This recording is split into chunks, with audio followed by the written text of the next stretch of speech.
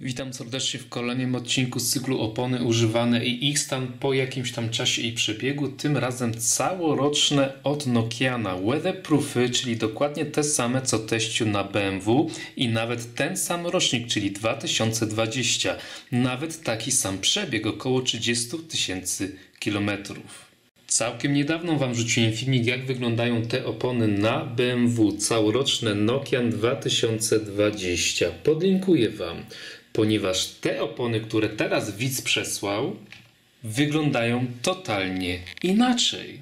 Co ciekawe, te akurat są produkcji rosyjskiej, a teściu ma produkcji fińskiej. Czyli tu akurat sprawdziłaby się teoria, że fińskie mniej pękają.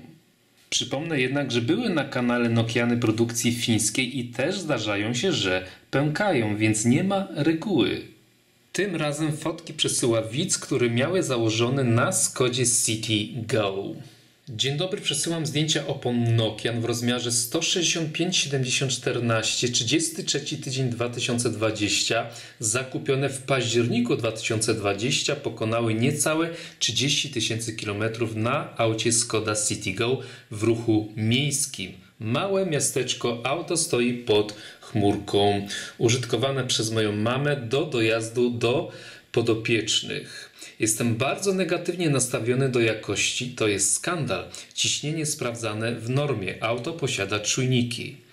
Jeden rok tylko przeoczone przełożenie kół z przedniej na tylną oś. Na osi kierowanej bieżnik nie istnieje, a spękane są dosłownie wszędzie.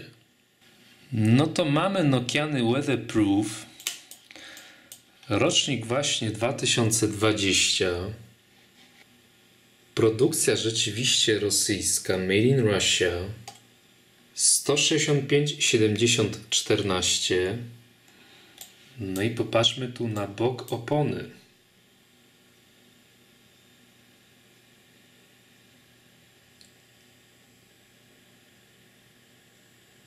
No ciekawie to wygląda.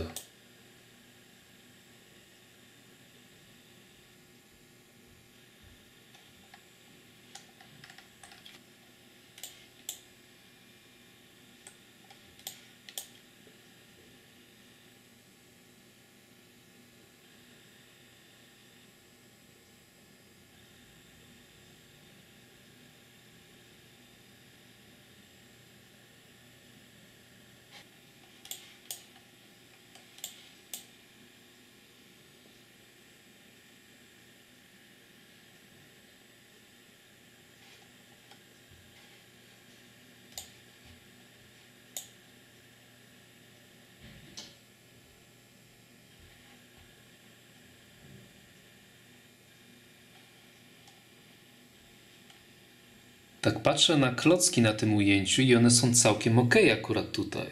Te spękania są między klockami.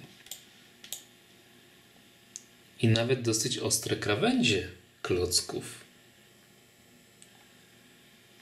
Natomiast na tym ujęciu to rzeczywiście dramat. Spękania i między klockami i na klockach.